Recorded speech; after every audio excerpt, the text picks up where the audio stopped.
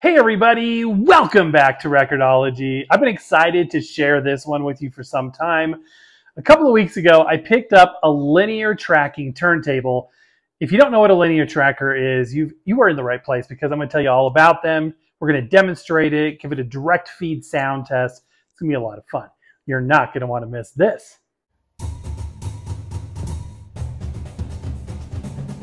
Welcome to Recordology. Behold the Carrera LT120 linear tracking turntable. So we're going to get into this. We're going to do a full review. We're going to do a sound test. But let's start at the top. What is a linear tracking turntable? In its most basic form, a linear tracking turntable tracks the record linearly. I mean, that makes sense, right? So they have these different tone arms that look a little bit different than what we're used to. And instead of it angling across the record, it slides across like this. Why is that a good thing? So on a regular record player, the tone arm pivots. It's got a static position that it's pivoting from. And as such, the stylus, the cartridge, goes across like this. I mean, that's what we're used to. But the thing about it is, the way that that tone arm is positioning the stylus and cartridge in those grooves changes because it's on a semicircle curve as you can imagine, it's curving across. And as such, the angle of that cartridge and stylus in those grooves kind of does like this. It's not completely straight.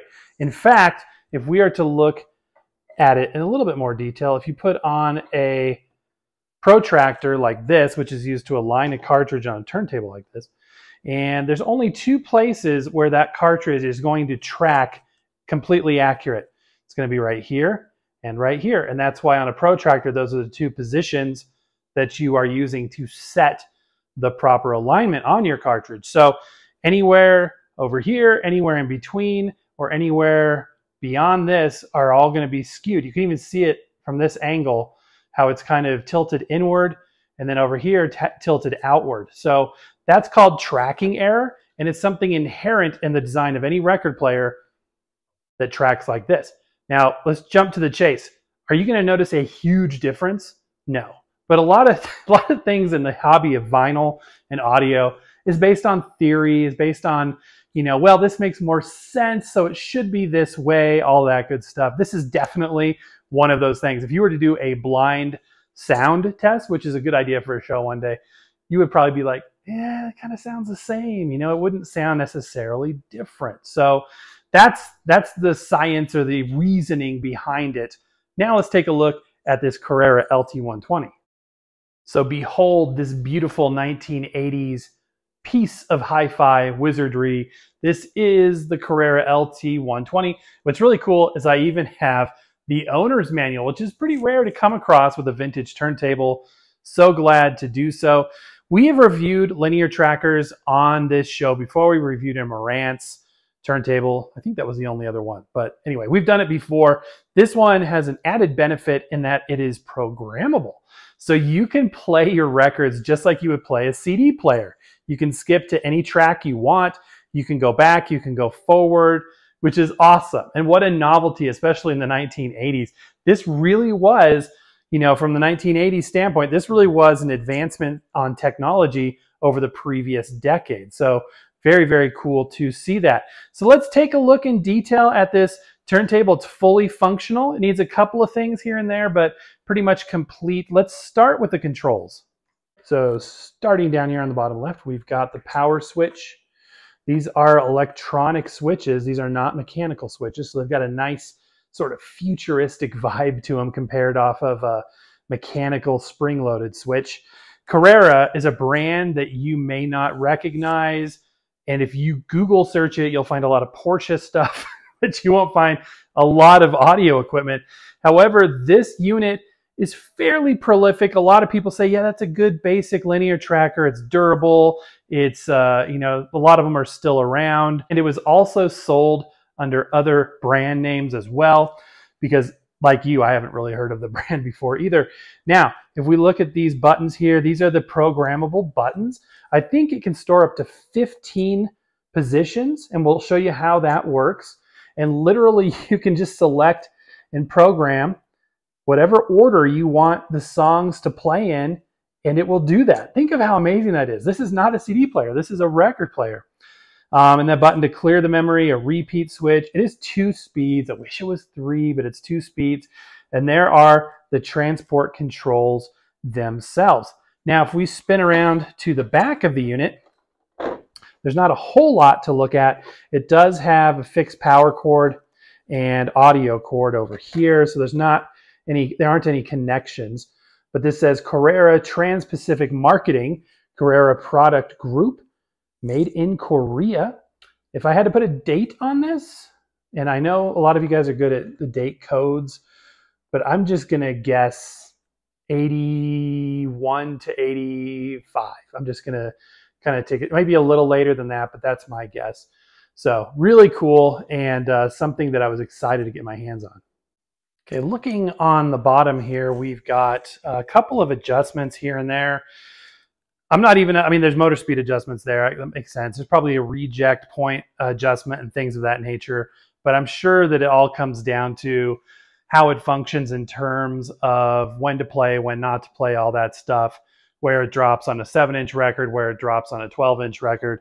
I do want to point out though that we are missing two feet. So we've got the front two feet here and two missing feet back there. So I'm going to use just a couple of Hudson Hi-Fi new old stock silicone feet. Not new old stock, these are brand new. But these replacement rubberized feet, they're a little, just a hair, hair too tall.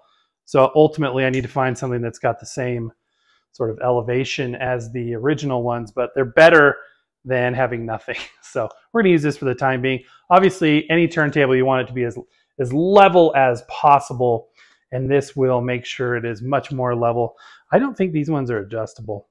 So that's gonna be a lot better than it was before because it was sort of sloping down on the back without having anything back there. So let's go ahead and set up the turntable the normal way, and we'll take a look at what's under the hood. Now, some linear tracking turntables part of the actual turntable itself is housed in the dust cover. This one is not like that. As you can see, this is just simply a piece of polycarbonate, just like a regular dust cover, although it is tinted on this part right here. And there is some indication there uh, regarding the size of the record. It is in metric 0, 17, and 30, which would translate to 7 inch and 12 inch on there if you are familiar with the non-metric system. So everything that you need to operate this turntable can be done without the lid. That's not the case with all units. So we already said it is a two-speed turntable. Big question is, is it belt drive or direct drive? Because these came in both flavors. And this one is a belt drive. Where is the motor? There it is. And the little belt right back there. As you can see, not much tension on this belt. This belt is uh, got enough tension to function, but uh, there's not a whole lot of extra give or elasticity left in that. So that's probably going to need replacing. One thing I want to point out right off the bat is I love how thin and streamlined this platter is. It is very thin to the plinth. It maybe raises up a quarter of an inch, if that. So let's go ahead and there's a couple recess areas underneath the platter here where we can pull this up. This is an aluminum, die cast aluminum platter which is great. And there is the underside of the beast. Here is the belt. And again, these do come in, you know, direct drive. When I say these, I'm talking about linear turntables. They come in direct drive or belt driven. And, you know, there's arguments for both. We're not going to go into all of that here. You'll see this has sort of a laser warning on that. I'll get to that in a minute. Besides that, there's not a whole lot to see. And in terms of the tone arm, which is, you know, the secret or the difference about this unit, there's not a whole lot to see either. This is going to run on a toothed worm gear and it is belt driven as well. So even on a direct drive linear tracking turntable, it's going to have a belt for the tone arm and the belt, the tone arm just slides laterally across there or linearly across there. And that's really all there is to it from the standpoint of what's under the hood, not much to it. This is a, a plastic plinth. You saw there were elements of metal underneath the turntable itself. It does have some weight to it. It feels quality. It does not feel cheap. And uh, if I bought something like this, I think that I would expect it to work pretty darn well.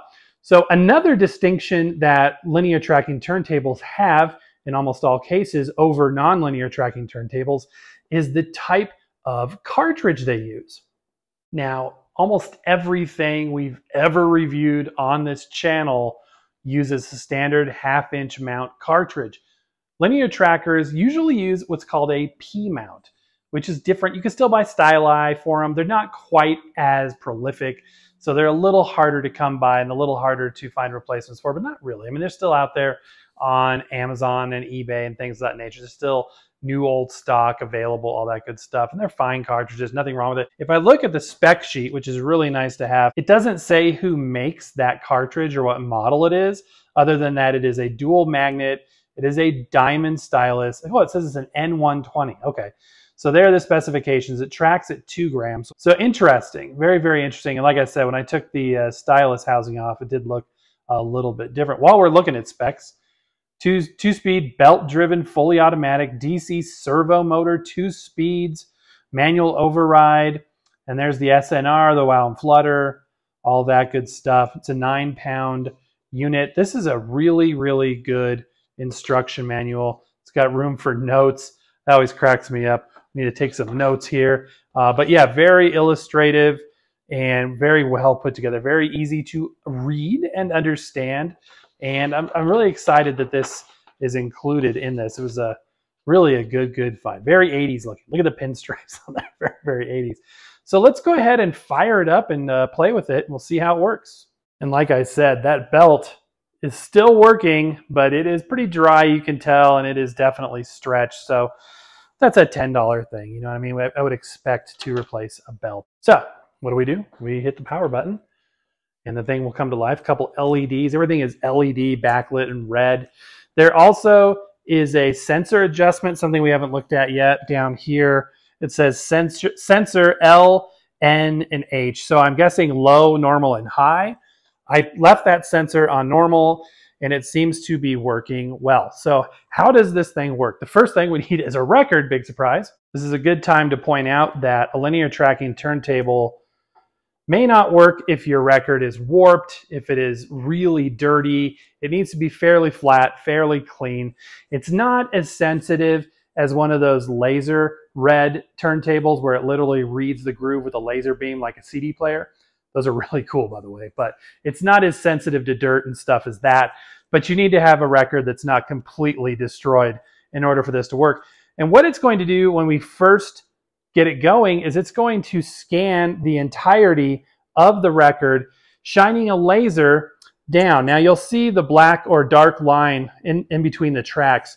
So it uses a, a laser and a refractor sensor and basically shines that beam and it, where it will not refract back or will not reflect back is going to be the groove area, but where it's shiny and smooth, it'll reflect back and it'll record that position and say that's the track markings for one, two, three, four, five, however many there are.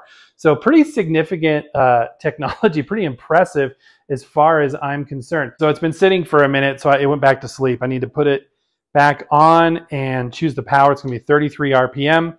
Now, if I just hit play, I don't wanna do any of the programming stuff. I just wanna hit play. All I have to do is hit play. And it goes across, it finds the start of the record, and it drops the stylus accordingly and it will play through just like an automatic turntable. It'll bring the tone arm back home and shut itself off just like a regular automatic turntable. But this thing can do oh so much more. One of my favorite things is just skipping through tracks. And you'll see when we were looking up close, and you can still see it here, the skip button. So when I first got this, I started skipping forward and it, it kept replaying the first track. Any guesses as to why it was doing that? Instead of going on to the next track, it kept playing the same track over and over. And I'm like, well, that's forward skip. You know, I, I grew up in the in the 80s and 90s. I know how to control a CD player, so this must work like this. Well, I had it backwards, so I was hitting the back skip button. So it's thinking the same direction that the tone arm is headed. So this way, where the uh, right skip, or what I would consider a forward skip on a CD player, is actually a back skip on this unit. In order to go forward, I have to go to the left. So I have to click the left button. But in this mode, what it's doing is it's actually manually allowing you to cue up any part of the song manually. And then you can hit play, it'll drop the stylus and play it right from there. So the only thing that doesn't work right with this turntable is the stop button doesn't work. So right down here it says stop. And yeah, I know I'm not supposed to be moving it around while it's spinning, but um, if I hit stop, it should bring the tone arm home, and that just doesn't work on this particular one. So you have to hit the power off button, but it does the same thing. As you can see, it'll stop spinning the tone or stop spinning the record. It'll bring the tone arm home. So it does essentially the same thing. Okay, now what if I want to program some tracks here? So I'm turning it back on. I'm choosing 33 RPM. I'm hitting the memory button, and then I'm going to say, eh, I want to play four. You can see it blink. And then I'm going to play six, and then I want to play two. But wait a minute, why isn't it staying lit up? Well, that's because just like programming a CD player, you have to hit the memory button in between each program selection. So let's start here with two. Then we hit memory. Then four. Then I hit memory. Then let's go back to three. Then I hit memory. Then one, memory, and then eight, memory. You'll see that after I hit memory, it locks it in and saves those selections. And you can also choose to repeat as well. So now when we hit play, it's going to scan the entirety of the record to find out where those track delineations are and play my record in the order that I wanted it to be played. And let's see what it does. You can see it going across the different tracks, getting an idea for where those separators are. And now that it understands, it's shining the laser and measuring how far over each track is, it goes ahead and starts playing our playlist, which is really what we've created here. And we started with track two. So track two is the first one to play. Now, if I get antsy and I'm like, you know what, I want to go on to the next song. It turns out I don't like two that much after all. Just hit the forward skip button, and now it goes over to four, which is the next one that I programmed. And you can keep doing that. And it'll go through the order that you programmed and then it'll bring the tone arm home when you're done. The next track was, in fact, number one. Now, I did program the eight button on there, and as you can see, there's not eight tracks. So let's find out where it goes to when I say I want the eighth track. Does it just go to the last song?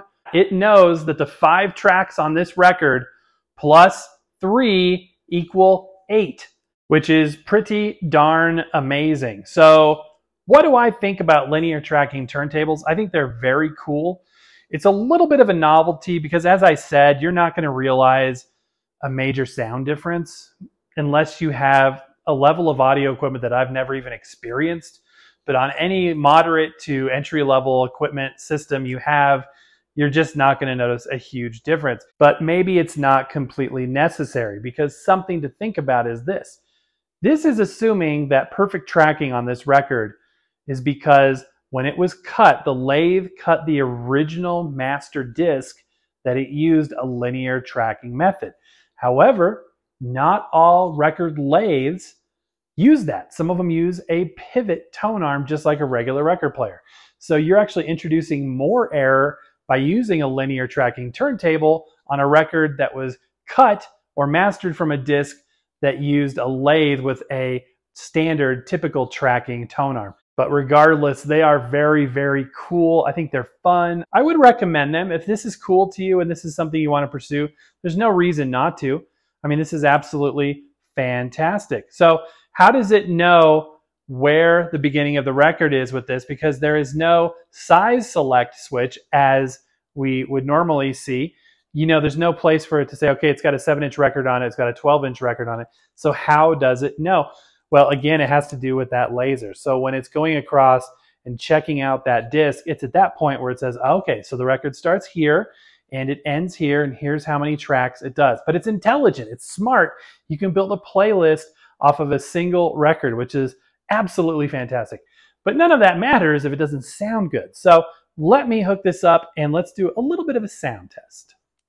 Okay guys, I'm gonna hit record on the digital recorder and I'm gonna hit play. I've programmed some tracks and we're gonna go ahead and give this a listen. It is Enoch Light, but it's not the same Enoch Light we normally listen to. So this is some fresh music and enjoy this record player.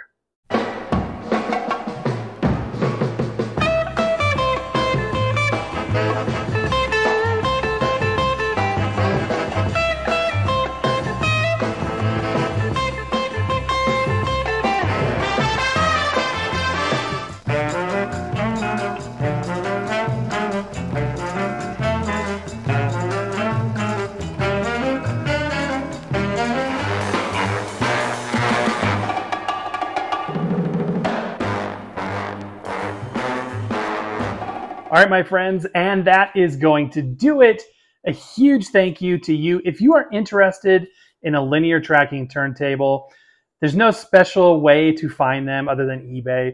They just pop up. It's rarer to find a linear tracker than a regular articulated arm turntable, but they are out there. So, like I said, eBay, garage sales, antique stores, Facebook Marketplace, Craigslist, all the typical places.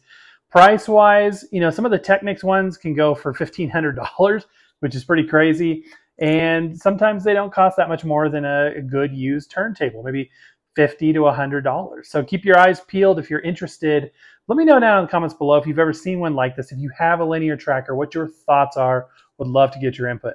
Well, my friends, that's going to do it for today. So happy record hunting. We'll see you next time.